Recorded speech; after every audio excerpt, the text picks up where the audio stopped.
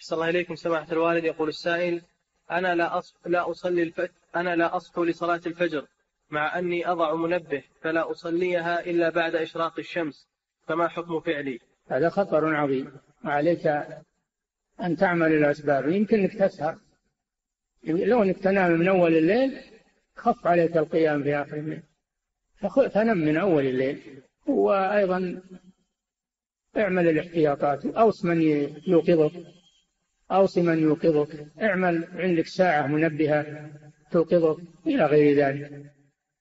لو أن عندك موعد لوظيفة ولا العمل ولا تبي تعطى دراهم ما تنام. ترفع راسك كل شوي وتروح تخاف يفوتك. فلماذا صلاة الفجر لا تهمك؟ تنام عنها. قد رأى النبي صلى الله عليه وسلم أناسا ترضخ رؤوسهم بالحجارة. كلما رضخت عادت كما كان.